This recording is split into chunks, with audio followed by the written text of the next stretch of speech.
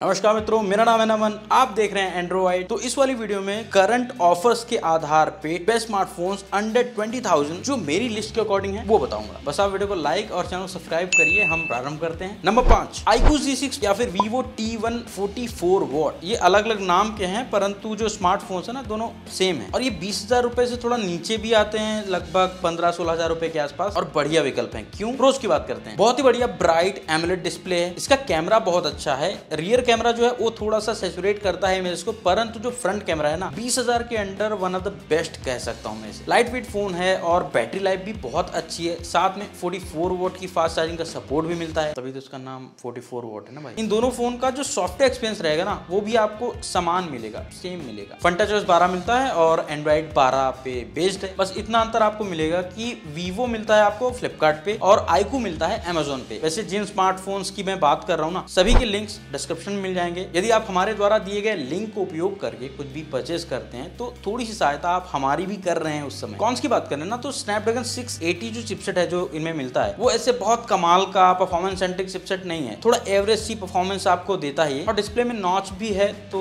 ये भी देख लीजिएगा। तो ओवरऑल ये बढ़िया विकल्प हो सकता है, जिनको की सेल्फी कैमरा अच्छा चाहिए बजट में, और अच्छी डिस्प्ले और बैटरी बैकअप भी अच्छा चाहिए तो। वैसे पंद्रह बीस हज़ार रुपए के अंदर जो भी फ़ोन आते हैं ना, उनका जो बैटरी बैकअप होता है ओवरऑल जितने स्मार्टफ़ोन की बात करूँगा, सभी का बहुत अच्छा है। हाँ डिस्प्ले 60 हर्ट्ज वाली है तो यहाँ पे 90 हर्ट्ज दिया जा सकता था ऐसा मुझे लगता है। इसी प्राइस में Redmi Note 11 भी बहुत अच्छा ऑप्शन है, Moto G52 भी बहुत अच्छा ऑप्शन है। परंतु इस वाले फ़ोन को मैंने स्पेशली सेल्फी कैमरा की परफॉर्मेंस के लिए रखा हुआ है। चौथा phone Poco X4 Pro pros की बात करें ना तो one of the best display है इसके अंदर, जो की बीस के अंडर स्मार्टफोन्स आते हैं। Six point six seven inch की एमलेट डिस्प्ले है वन ट्वेंटी के रिफ्रेश रेट के साथ। साथ में डुअल स्पीकर भी है तो ओवरऑल जो मीडिया विविंग एक्सपेंस रहता है ना, इस वाले फ़ोन में बहुत कमाल का मिलता है। बैटरी बैकअप इसका भी बहुत अच्छा है। 67 वोट की फास्ट चार्जिंग को भी सपोर्ट करता है। और इसका जो कैमरा है ना, वो भी थोड़ा सा प्राकृतिक अर्थात नेचुरल रंग शो करता है इमेजेस में। हाँ यहाँ पे स्नैपड्रैगन 695 चिपसेट मिलता है तो इसकी अपनी कुछ लिमिटेशन हैं। जैसे कि आप 4K वीडियो नहीं शूट कर सकते हैं। और 60 एफ़ का भी विकल्प आपको नहीं दिया गया है। हाँ 695 जो चिपसेट है, एक 5G चिपसेट है और आपको डिसेंट टाइप की परफॉर्मेंस मिल जाती है बीस हज़ार रुपए के अंडर में। अब बीस हज़ार रुपए के अंडर में कई स्मार्टफोन्स हैं, जो कि ये वाला चिपसेट लेके आते हैं। अंडर ट्वेंटी थाउज़ेंड ये वाला smartphone one of the best हो सकता था, परंतु कॉन्स की बात करते हैं ना। इस फ़ोन को जब हमने टेस्ट किया था तो इसमें यू आई लैग्स और कुछ बग्स का भी सामना करना पड़ा था। आशा करता हूँ कि वो बग्स अब फिक्स हो गए हूँ। तो इसके लिए आप रिसेंट कुछ रिव्यूज़ देख सकते हैं। हालाँकि ये डिवाइस अभी मेरे पास नहीं है तो मैं टेस्ट करके नहीं बता सकता हूँ। परंतु यदि आप में से कोई इसे उपयोग कर रहा है फ़िलहाल तो आप अपना अनुभव साझा कर सकते हैं कॉमेंट करके। मात्र यही यू लैग और बग वाला जो कारण है, इसी वजह से मैंने इसे फोर्थ पोजिशन पे रखा है। तीसरे नंबर पे कौन सा फ़ोन है भाई? रियलमी नार्जो फिफ्टी प्रो एक बात क्लियर करना चाहूँगा, ये वाला फ़ोन अभी वैसे इक्कीस रुपए का है मतलब जो इसका ओरिजिनल प्राइस है, ये है। परंतु इस पे कुछ ना कुछ ऑफर्स चलते रहते हैं और कई बार ये बीस हज़ार पाँच सौ या बीस हज़ार रुपए के आसपास मिल सकता है। यदि इस मूल्य पे मिलता है तो इसमें बहुत सारे ऐसे पॉइंट्स हैं जो कि ओवरऑल बहुत अच्छा पैकेज बनाते हैं इसे। प्रोज की बात करते हैं तो 90 हर्ट्ज की बढ़िया ब्राइट डिस्प्ले मिल जाती है इसमें। बहुत ही बड़ा और बल्कि फ़ोन नहीं है, थोड़ा हैंडी फ़ोन है। प्लास्टिक बिल्ड है, परंतु हाथ में पकड़ने में ऐसे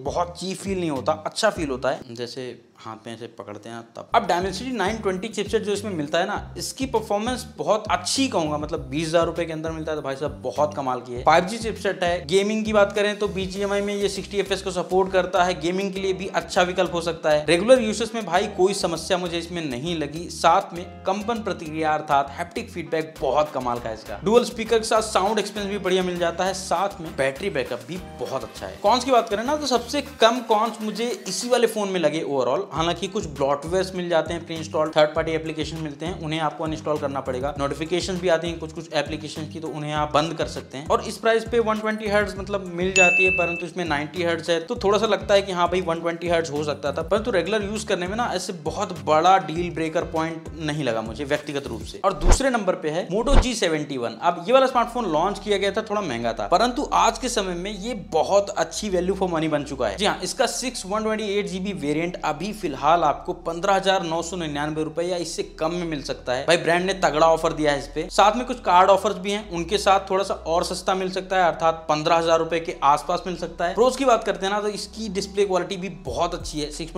इंच की एमएलएड डिस्प्ले मिल जाती है। क्लोज टू स्टॉक एंड्रॉइड मिलता है तो सबसे क्लीनेस्ट एक्सपीरियंस देगा आपको इस प्राइस पे। यदि आप अपने स्मार्टफ़ोन में कस्टमाइजेशन बहुत ज़्यादा नहीं करते हैं, तब निसंदेह आप स्टॉक एंड्रॉइड स्मार्टफोन्स को ट्राई कर सकते हैं। इसका जो डिज़ाइन है ना, वो भी अच्छा है स्लीक है। बहुत भारी बल्कि फ़ोन नहीं है। हालाँकि प्लास्टिक बिल्ड है, परंतु इन हैंड फील ओवरऑल बढ़िया है इसकी। और बैटरी बैकअप इस वाले फ़ोन का भी बहुत अच्छा है। इनफैक्ट मैं कहना चाहूँगा कि मोटरोला के बहुत से स्मार्टफ़ोन हमने ट्राई करे हैं अलग अलग बजट कैटेगरी के। और जो बैटरी कैपेसिटी होती है, उसके आधार पे बैटरी बैकअप बहुत अच्छा होता है। साथ में जो रैम मैनेजमेंट होता है ना, वो भी मैंने देखा है कि मोटो में बाकी स्मार्टफोन्स की तुलना में थोड़ा बेटर मिलता है। अब जैसे पोको एक्सपोर प्रो में स्नैपड्रैगन 695 चिपसेट मिलता था, यहाँ पे भी सेम चिपसेट है। तो 5G कैपेबिलिटीज यहाँ पे भी हैं। परंतु सेम 695 वाली जो लिमिटेशंस होती है ना 4K 30 FPS वाली, वो सब यहाँ पे भी है। कौन की बात करते हैं ना तो 60 हर्ट्ज की डिस्प्ले है। यहाँ पे 90 हर्ट्ज तो एटलीस्ट दिया जाना चाहिए था और सिंगल स्पीकर मिल जाता है। और साथ ही जो इसमें कंपन प्रतिक्रिया अर्थात हैप्टिक फीडबैक है, वो भी साधारण है। और अब देखते हैं कि भाई नंबर वन पे कौन सा स्मार्टफ़ोन है, उसके पहले। यदि आपने वीडियो को अभी तक लाइक नहीं किया है तो भाई साहब लाइक कर दीजिए और चैनल को सब्सक्राइब कर लीजिए। हम विनम्र निवेदन कर रहे हैं आपसे चैनल को भाई साहब इतने लोग देखते हैं, परंतु चौदह पंद्रह प्रतिशत लोगों ने ही सब्सक्राइब कर रखा है। तो पहले नंबर पे है सैमसंग गैलेक्सी एम कुछ लोग बोलेंगे भाई साहब, ये तो तीस हज़ार रुपए का लॉन्च हुआ था। भाई साहब, अभी जो ऑफ़र चल रहा है ना, आज की डेट में, ये फ़ोन बीस हज़ार नौ सौ निन्यानवे रुपए का मिल सकता है आपको अमेजोन पे। ऑफलाइन भी आप पता कर सकते हैं मे बी वहाँ कुछ और डिस्काउंट हो। अब ये फ़ोन टेक्निकली इक्कीस हज़ार रुपए का है, परंतु इस फ़ोन के लिए मैं आपको कह सकता हूँ भाई, यदि आप एक हज़ार रुपए डाल देंगे ना तो आपको पछताना नहीं पड़ेगा। और यदि आपको कार्ड ऑफर्स के बाद थोड़ा और कम में मिल जाता है तो अति उत्तम। ये वाला फ़ोन ना, मुझे one of the best smartphone लगा बहुत सारे यूज़र्स के लिए। प्रोज की बात करते हैं तो इसकी डिस्प्ले काफ़ी बढ़िया भाई। सैमसंग का फ़ोन है सुपर एमलेट प्लस डिस्प्ले है 120 ट्वेंटी का रिफ्रेश रेट भी है। स्नैपड्रैगन 778 जी चिपसेट है तो परफॉर्मेंस भी आपको बढ़िया मिल जाती है। परंतु इस फ़ोन की जो सबसे मुख्य यूएसपी लगती है ना मुझे, वो है इनके कैमरा कैमरा बहुत कमाल के हैं। चाहे रियर कैमरा की बात कर लें, पीछे जितने भी कैमरा है भाई, सभी काम के हैं। बढ़िया इमेजेस मिल जाती है डिटेल्स हो डायनेमिक रेंज हो, हर जगह आपको अच्छे रिज़ल्ट मिलेंगे। इनफैक्ट जो सेल्फी कैमरा है ना, वो भी बहुत अच्छा है इसका। जैसे आईकू हमने बोला था ना, पंद्रह सोलह हज़ार रुपए में बढ़िया सेल्फी कैमरा है। ये पच्चीस तीस हज़ार रुपए के हिसाब से भी ना बहुत अच्छा कैमरा है। जो बैटरी लाइफ है, वो भी इसकी बढ़िया है। और सैमसंग की नॉक्स सिक्योरिटी मिल जाती है। यदि आपके लिए मैटर करती है तो भाई सही है। कौन सी बात करते हैं ना तो इसमें भी सिंगल स्पीकर है एवरेज क्वालिटी का स्पीकर दिया गया है। बिल्ड क्वालिटी भी एवरेज ही है और इसमें भी हेडफोन जैक नहीं मिलता। और डिब्बे में 15 वोट का अडेप्टर मिलता है। यहाँ पे जितने भी स्मार्टफ़ोन मैंने बताए हैं सब में 30, 33, 40, 44 ऐसे मिलता है। इसमें 15 वोट का मिलता है। हालाँकि जो सैमसंग अब 2021 में स्मार्टफ़ोन लॉन्च कर रहा है सस्ते हो या महँगे किसी में भी आपको अडेप्टर मिलता ही नहीं है डिब्बे में। तो अब इसको प्रोज में रखना है आपको कि कौन में रखना है भाई वो आप देख लीजिए। एक बात क्लियर करना चाहूँगा कि जब से ये फोर और फाइव वाला सीन चल रहा है ना इंडिया में अंडर ट्वेंटी के की जो श्रेणी है स्मार्टफोन्स की, इन पे इसका सबसे ज़्यादा प्रभाव दिखता है। जैसे कि 4G स्मार्टफ़ोन लेंगे तो ओवरऑल स्पेक्स अच्छी मिलती है डिस्प्ले अच्छा मिल जाता है कैमरा अच्छा मिल जाता है चार्जिंग अच्छी मिल जाती है। और 5G वाला लेंगे तो वहाँ पे बहुत सारी चीज़ों में कॉस्ट कटिंग करी जाती है। वहाँ पे मात्र आपको 5G मिलता है। तो मित्रों, यही थी मेरी लिस्ट अंडर ट्वेंटी कुछ अच्छे वाले स्मार्टफोन्स की। यहाँ पे और भी बहुत सारे विकल्प हैं फोर में फाइव में। परंतु मैंने अपने हिसाब से एनालिसिस करके आपको यहाँ पे परिणाम बताए हैं, जो की मोस्ट ऑफ़ द यूज़र्स के लिए थोड़ा बढ़िया विकल्प हो सकते हैं। और जो भी स्मार्टफ़ोन आप लेने का निर्णय लेते हैं, उनके रिव्यूज़ और कंपेरिजन आप देख सकते हैं। मेरे चैनल पे भी हैं, बाकी क्रिएटर्स के चैनल पे भी हैं। तो उससे आपको थोड़ा बेटर आइडिया मिल जाएगा कि भाई आपको क्या चाहिए, क्या मिल रहा है, क्या मिसिंग है। उसके पश्चात जो आप निर्णय लेंगे, वो थोड़ा सटीक होगा। तो बस आज को फ़िलहाल इतना ही। वीडियो यदि आपको अच्छी लगी हो तो वीडियो को लाइक करना चैनल सब्सक्राइब करना ना भूलिएगा। और हम मिलते हैं आपसे अगले वीडियो में। नमस्कार।